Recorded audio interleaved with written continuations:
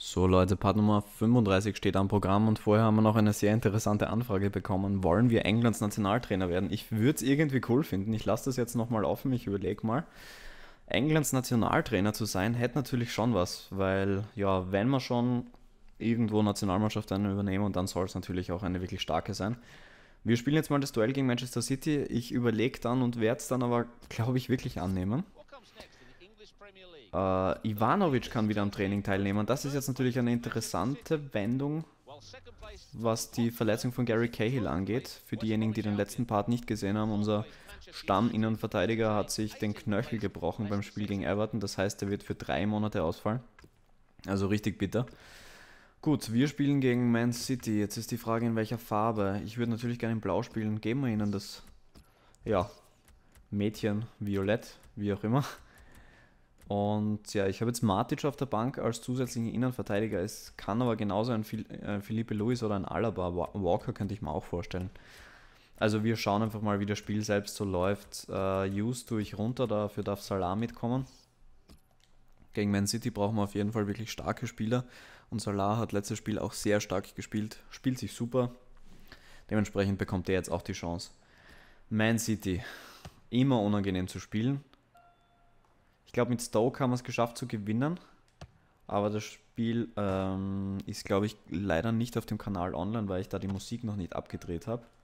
Und da war irgendein Lied, das die GEMA gesperrt hat für YouTube. Jedenfalls, ja, schauen wir uns da jetzt gerade mal ein bisschen das Intro an. Chelsea gegen Manchester City. Schönes, spannendes Duell. Auch aktuell natürlich das Duell um die Meisterschaft. City ist knapp hinter den Spurs Dritter. Dementsprechend, ja, Niederlage sollte man uns auf jeden Fall auch keine leisten. Ich glaube, man hat da gerade Frank Lampard auf der Bank gesehen, so ist es. Der, für den ist es natürlich was Besonderes, wenn der an die Stamford Bridge kommt. Der hat ja auch argerweise in seinem ersten Spiel gegen Chelsea getroffen zu 1-1 unentschieden. Ich glaube, es war 1-1. Schürle. Boah. Joe Hart schießt da einen Verteidiger an. Fast wäre der drin gewesen. Das war gar nicht Joe Hart. Ah, das ist dieser Caballero, glaube ich. So, Schürle mit der Ecke. Die ist gut. Ah, kurz Nummer. Aber erwischt ihn nicht so richtig. Daher leider nur Abstoß. Aber wir fangen schon ganz gut an. Wir verstecken uns nicht. Ich meine, das habe ich eh so und so nie vor, egal gegen wen wir spielen und wenn es gegen die Bayern ist. Oder gegen Barca, auch egal.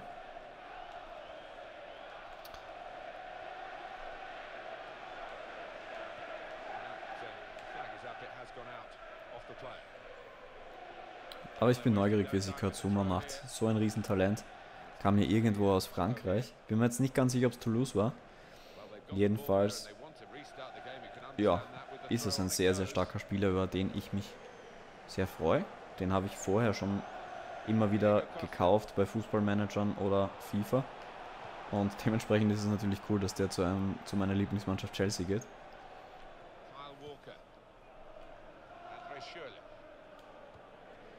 Oh, nett mitgenommen, aber hat zwar gut ausgesehen, aber überhaupt nichts gebracht.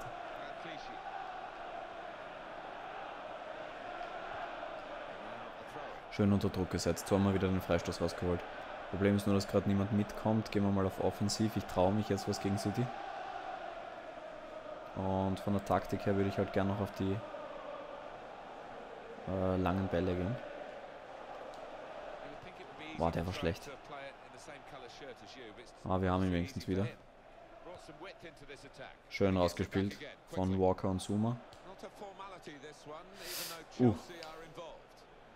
Zu weit für Pogba, zu kurz für Hazard.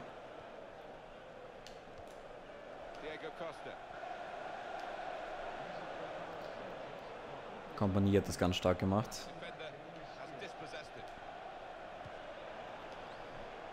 Ah, es ist schon schwierig, gegen die durchzukommen.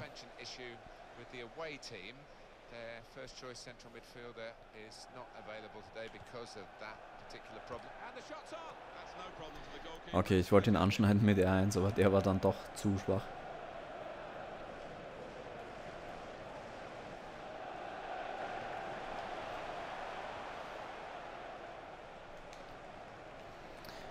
Boah, war das gerade schlecht verteidigt. Unfassbar. Aber gut abgedrängt von Katsuma.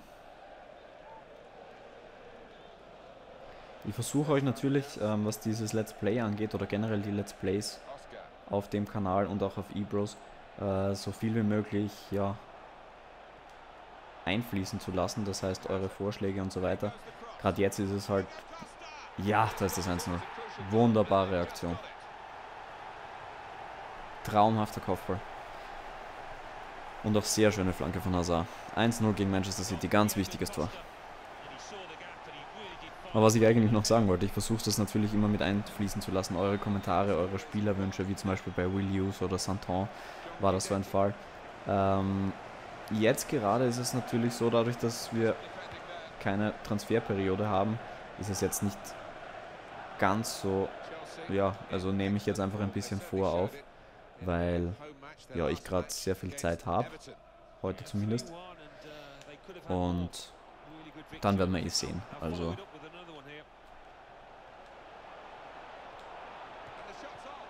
Boah, starke Aktion. Also sobald es gegen Ende der Saison gegen Ende der Saison geht, dann müssen wir natürlich eh wieder quatschen, wie es weitergeht, wie ihr das auch haben möchtet. Schürle, gute Aktion.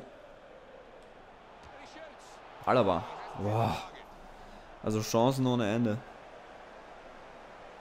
Man sieht die absolut chancenlos, aber das Problem ist halt, die haben so eine individuelle Qualität, dass das ganz schnell gehen kann und plötzlich ist der Ausgleich da. Und Fall von Schüle, auch zu Recht, glaube ich. Einfach nur niedergerannt hier.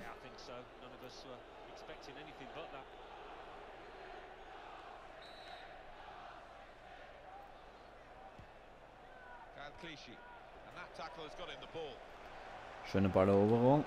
Theo Costa. Oh, jetzt habe ich eh so viel Zeit gehabt. Auf jeden Fall sehr harte Partie gerade, wie ihr seinen Zweikämpfen, glaube ich, ganz gut erkennen könnt. Schöne Aktion Fabregas. Aber Caballero klärt wieder. Oh! Wer schreibt mir da? Ich muss mal auf lauter stellen, sorry.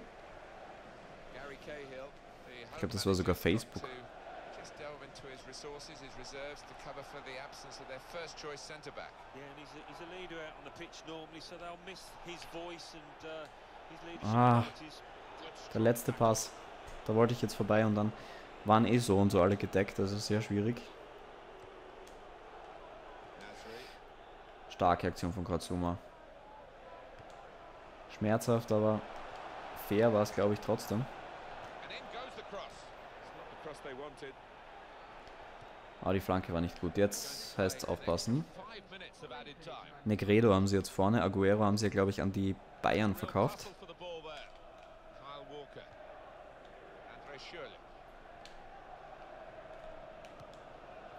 Aber sollten wir echt Englands Nationaltrainer werden, ist das für uns natürlich auch ganz cool. Können wir auf jeden Fall Spieler ausprobieren, die wir uns für die Mannschaft vorstellen könnten und so weiter. Dementsprechend wieder gute Chance. Wäre schon eine Überlegung. Ich glaube wirklich, dass ich es machen werde. Auch wenn es das Let's Play dann dementsprechend verlängert.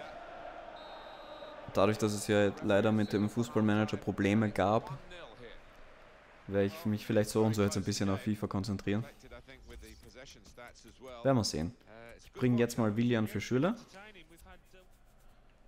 Das passt eh, Schüle kann dann im nächsten Spiel gegen City auch wieder Vollgas geben. Da ist er dann auch wieder recht frisch. Jetzt kriegt Diego Costa auch noch Gelb. Aber auch zu Recht. Wie gesagt, sehr, sehr harte Partie heute.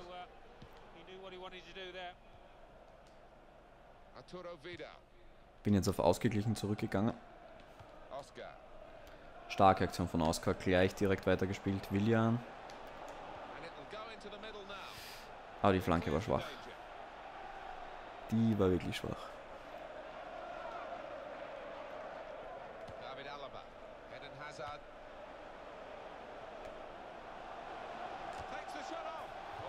Alaba ans Außennetz. Bin trotzdem nervös. Ich will unbedingt ein zweites Tor nachlegen.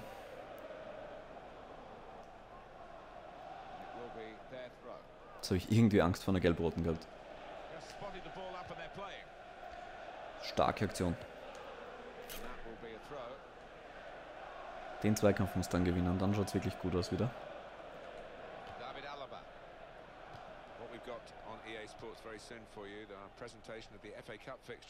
Chelsea They'll be hosting Manchester City. Yeah, ah. looking forward to this one. Uh, I think we're going to see some good football. David Alaba. Alaba. Kein schlechter Schuss.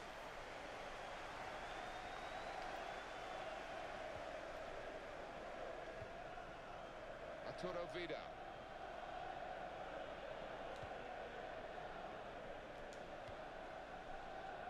John Terry. Ich hoffe, Ivanovic ist bald wieder fit.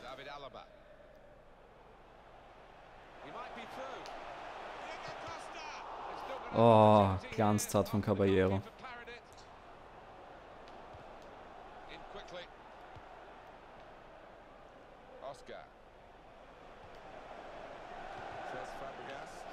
Nein. Das gibt's nicht.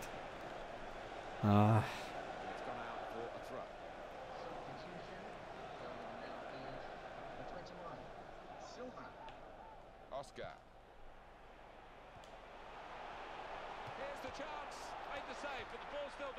Ich gerade wieder Chancen vergib. Oh, fuck. Wen bringen wir noch? Was machen wir noch? Derweil gar nichts. Boah, das gibt's nicht, hey. Müsste schon längst das 2-0 gefallen sein. Und ihr wisst, wie gefährlich das ist. Uh,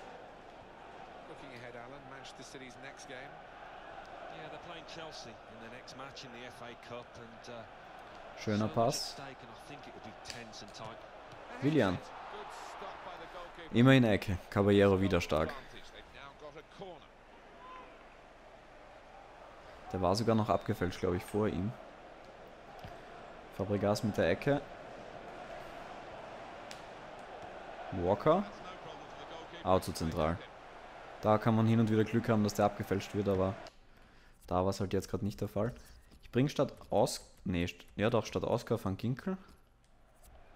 Oscar ist schon etwas müde, der hat nämlich nicht die beste Ausdauer.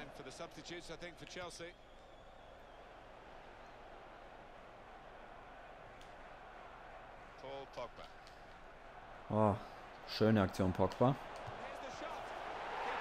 Und einfach reingeknallt. Aber wie? Paul Bock war ganz stark. Das nütze ich aber gleich aus, um Drogba zu bringen. Also Diego Costa wieder zu schonen für das zweite Spiel gegen City. Ich habe mir jetzt einfach gedacht, ähm, Pogba, der kann schießen, der kann vor allem auch fest genug schießen. Ich schieße da jetzt einfach mal Caballero mit rein ins Tor. Und es hat so ungefähr funktioniert.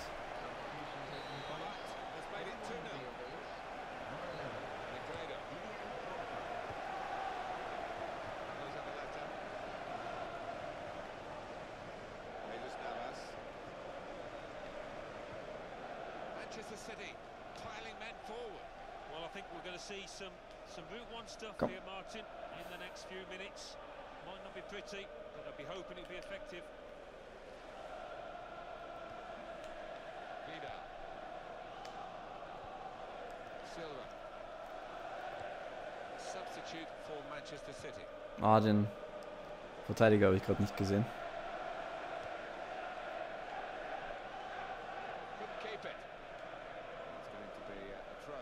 Gehört trotzdem uns, ausgezeichnet.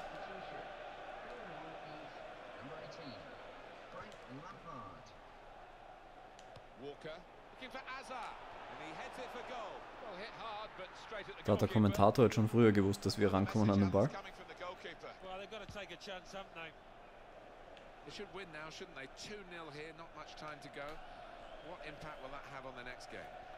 So, ich gehe jetzt auf sehr, sehr defensiv, also Abwehrregel und Konter.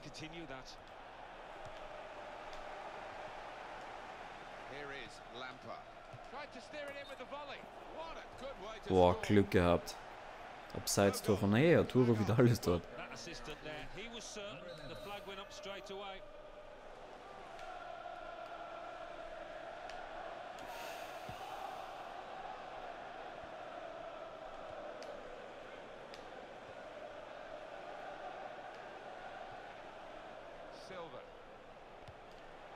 For Negredo.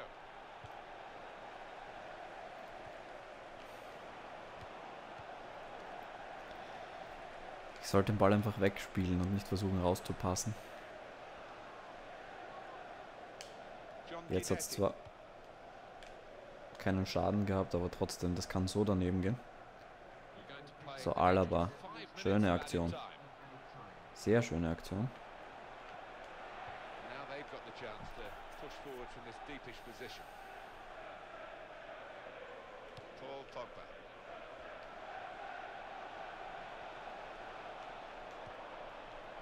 Here's the shot. Set up for a first time shot. Oh, den habe ich drin gesehen. Aber Fans anscheinend auch sehr, sehr glücklich heute. Zu Recht. Gegen. Manchester City muss man erstmal gewinnen.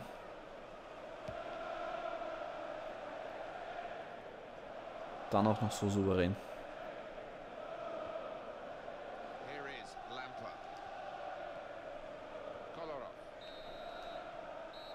Gut, nicht schlecht. 2-0 Sieg gegen Manchester City. War eine sehr, sehr schwierige Partie. Vor allem, weil die mit Caballero ja einen unglaublichen Torhüter jetzt in diesem Spiel gehabt haben. Der hat sich auf jeden Fall vor einer wesentlich höheren Niederlage bewahrt. Ansonsten hatten wir auch noch Glück, dass der Anschlusstreffer abseits war. Zum Schluss hat City gedrückt und gezeigt, was die wirklich können. Aber wir haben es geschafft. 2-0 Sieg. Die Fans haben sich zu Recht gefreut. Wäre auch noch mehr drin gewesen.